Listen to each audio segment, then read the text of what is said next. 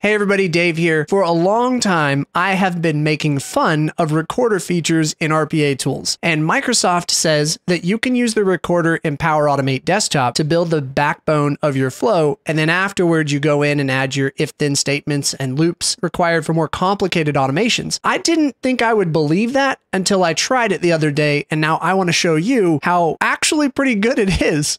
The first thing we're going to do is create a new flow. So I'm going to call this test recorder.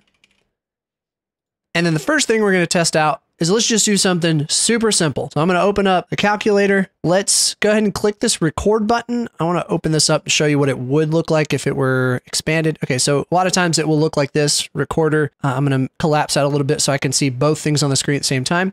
I'm going to click record. Okay, so I've got this little window that pops up. I'm going to move it onto the screen, then click record. So let's click clear first. And then let's click 12 plus 86. Now that is a little bit slow and it jerks my cursor around a little bit, but now that I know it's a thing, I know to wait for it each time. Then I'm going to click equals. Okay, so let's go ahead and click done. All right, so here is our flow. It's very simple. Clear 1, 2 plus 8, 6 it did not record my equals, so let me do that. Okay, record equals and done. Okay, so now I'm just going to delete the comments so I can see all the actions on the screen at the same time. Don't have to delete them. Let's go ahead and change the run delay to one millisecond and then run it.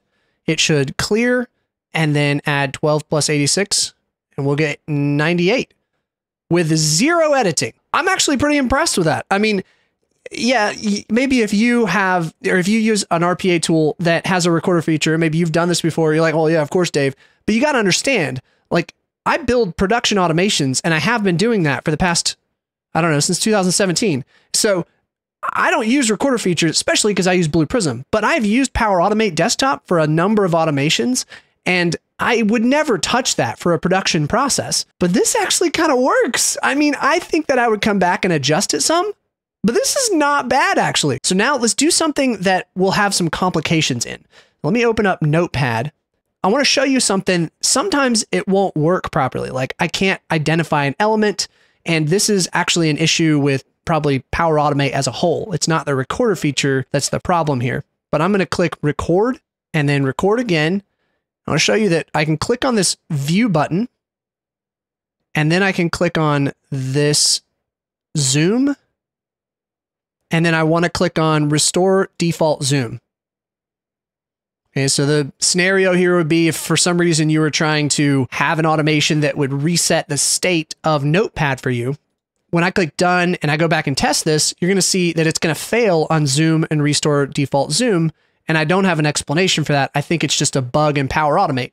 And a matter of fact, if you look at the recent release notes for Power Automate, you'll see that it actually talks about them trying to fix an issue with identifying UI elements in Notepad. So uh, this is kind of a known issue, I think. It says failed to select option.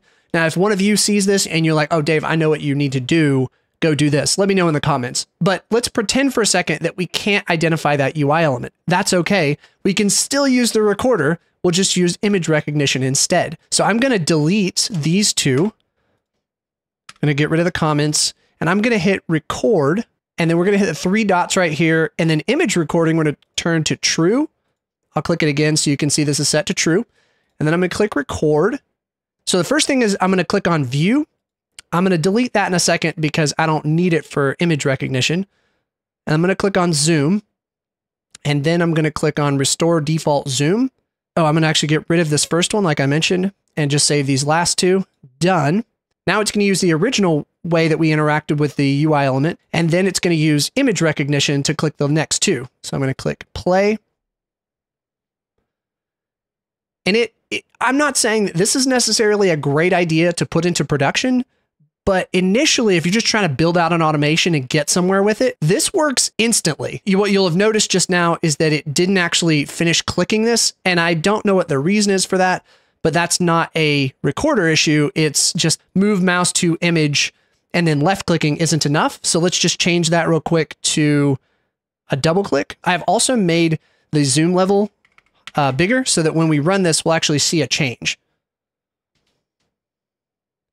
Okay, so view, and then it's going to click on zoom as an image and then restore default zoom as an image. And now our zoom level is back to normal.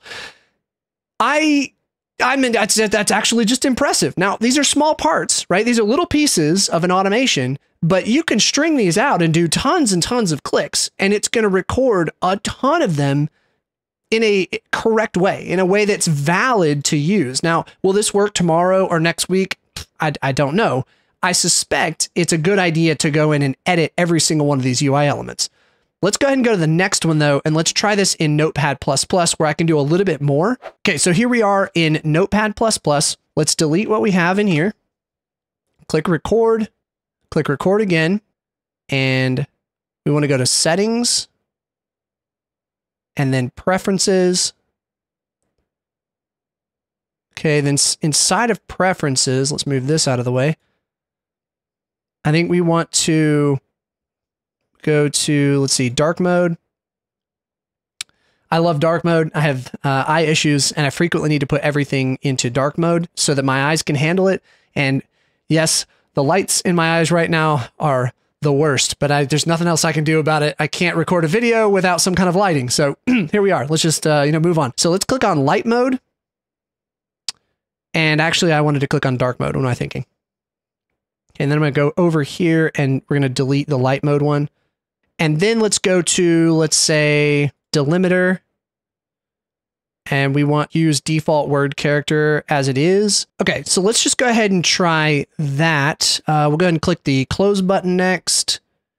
And then let's see, we could go to view.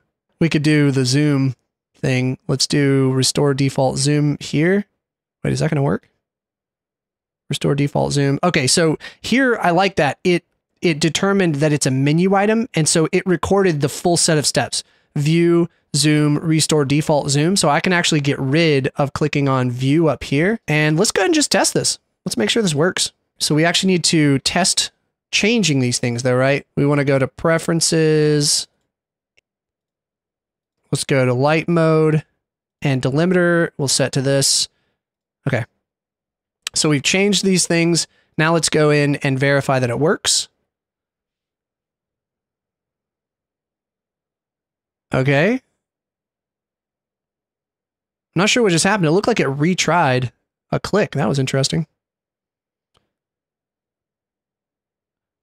Okay, so quite frankly, I expected it to fail. I thought that it was going to fail. I thought they would need me to rename the window title, and I think there's a chance that it would if we if we like uh, did this. Let's see if we did a new file. So now it's new too. Let's see if it fails.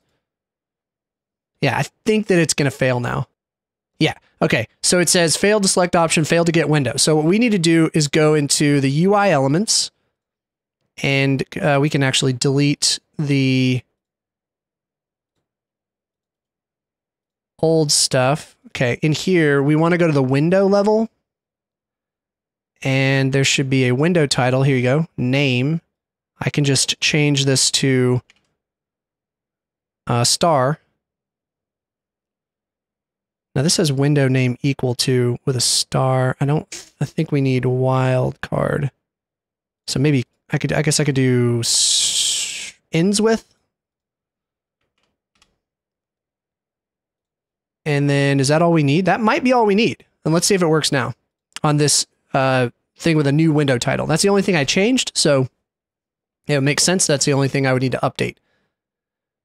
Okay, so what that looks like to me, and I, I, I think I actually only recently learned this because I just use Power Automate Desktop for fun.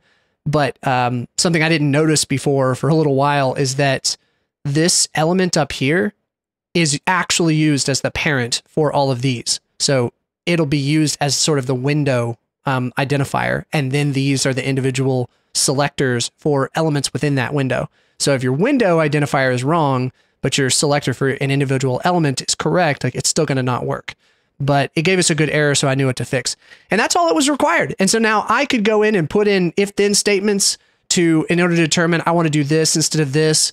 Um, I could, I might need to put in things like, let me check to see currently if word wrap is on because in this case we don't want power automate to just click word wrap because every time it's just going to flip it the other way right it's just going to flip back and forth so i think that we would need some kind of logic to read the value and i think with the recorder there's not really a way to read values that, it, that doesn't even make sense in that case because it's mostly about typing and clicking so the final thing i want to do is let's go to ChatGPT because i think it's hilarious. I'm going to go and ask it to generate a web page for me. And then we're going to automate that web page and see whether or not we have to make any adjustments to do the things that we record our steps being uh, in automating that web page. It's going to be a local web page. So I want to show you something with that too. All right, let's go ahead and ask ChatGPT to generate a web page for us.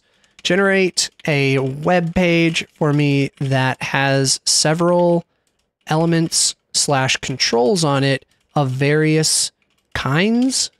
When clicking submit, it should it should just clear all the fields back to their default values.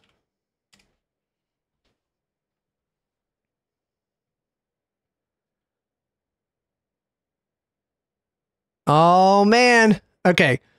So it's not that hard to create a web page, but I certainly couldn't have typed that stuff that fast. So Let's go copy this and go to Notepad++, and I'm going to save it locally. Okay, so we're going to go ahead and save it as uh, sample.html. And then let's go open that right here, sample.html. If you were to do something like this, I want to point out what you need to make sure you do is give the Power Automate extension access to file URLs because this is a local web page and this is a great way to practice RPA for yourself. But you need to go right click on the Power Automate extension up here, manage extension, scroll down and allow access to file URLs. Make sure that's set to true. And then you can close the tab, go back, and now it's got access to this web page because this is a local file URL. So we've got a number of things we can do here. Let's use Power Automate to uh, actually, we need to delete all this, don't we? And then let's click record and let's just do some stuff here. Record. I'm going to click into the name field. I'm going to type Dave Morris. Then let's click into email and let's say dave at dave the davetherpaguy.com. Gender. Ooh, okay. Yeah, that's right. It pops up a menu to say, hey, what do you want to select? by extracting the values out of the combo box. I know that's not that hard, but it's still impressive to me. So just let me be impressed. Okay. I'm going to choose male. Okay. My favorite color is um, green. Wait, what? Example. So this is a little unintuitive, I suppose. What we need to do is click pause. Uh oh. Cancel. We need to pause. Okay. I, I looked up that teal, which is actually my favorite color, uh, is is this color code, but I, this is an RGB, so I'm not totally sure if this is gonna work. Let me let me try this again. So record. Where are we at? Record. I click this. I'm not sure if that'll work. Oh, it worked. Okay, cool. And then country, uh, USA. Yep. But we're gonna choose Canada because USA is the default. So let's put Canada interests. Uh, we'll put sports. I like music, but I uh, can't play it at all or anything. So let's click comments and let's say, uh, this is a sample comment. Isn't this really cool? Question mark and submit. Okay, so let's click done. Here we go. So this is going to not launch a new Chrome. Don't let that trick you. It says attached to running instance and it has uh, filled in all this stuff I don't know if this has done everything, but we will find out in just a second whether or not it has. Are you ready for this? Okay, it's attaching. It's still attaching. Is it's uh oh there it goes. Okay, filled in. Oh, a male. Oh right, that was the default, or was it the default? I don't know. Favorite color, uh, country, Canada, sports, and it inputted. Oh, okay. Look, look. I thought, again, I was to have to change something. But this time I didn't say it out loud because I thought if I don't say it out loud, nobody will know. And um, then I won't look silly. But unfortunately, I've already told you now. I think that this is pretty well proved that Microsoft is correct. I don't know how hard it would be to make a complex automation this way, but I suspect it can't hurt. It probably would only take five or 10 minutes to click through and perform even fairly complicated automations because what you're trying to do a lot of times is you have like 2000 different uh, say accounts that you need to perform procedures for and you record the set of steps for that and then what you're going to have to do is uh, most likely you will have to edit some ui elements in most cases i think even in this case i would have to i think i don't know i guess i could look let's see if we just pick one color. No, I mean, it, it, picked the ID, so this would just work every time. But I think that sometimes you're going to have to edit UI elements. I think it would just depend on how that website is designed or that desktop application. You can see this is just a sequence of steps from beginning to end, and it is missing two big things that I can think of. And one is um, decisions, because sometimes you want to do one thing or another. Microsoft already pointed out you can't do that in the recorder. That's just how it is. And then also if you needed to get input data from somewhere, I don't think using the recorder is going to be the right way to go for that. You need to use programmatic means or you know you need to use the ways that Power Automate Desktop is designed to retrieve data from Excel or from wherever. And then you put a loop in place in order to loop over all of these actions. But the hard work of trying to interact with the page is already done. And really, all you need to do is just verify it's correct. And then you change it as you need. I'm going to say I think it's a little bit dangerous to do this because it's so easy to effectively copy paste something and then discover later on during production that you didn't build one piece of it right and it's doing something you didn't intend. So as long as you're careful to check everything, I think it's fine. But it is a bit risky. So be careful with how you use it, but at the same time, have fun with it. I think that anybody can go try this out and it will work on a number of different scenarios like I just pointed out most likely when you go to try this for yourself, you're going to try it on an application that it doesn't work on. Just be ready for that. Okay. That's just how it works. When you see somebody else go, Hey, look how easy this is. You're going to go try it for yourself. And you'll be like, this, this is not easy at all. Just, you know, give it a chance. Try it on a few different applications until you see it work once. Leave me a comment if it works or doesn't work. I'm interested to know also how many of you use the recorder for automations you intend to go to production. I'm very curious to, to know that. Let me know in the comments. Thanks so much for watching, and I'll see you in the next video.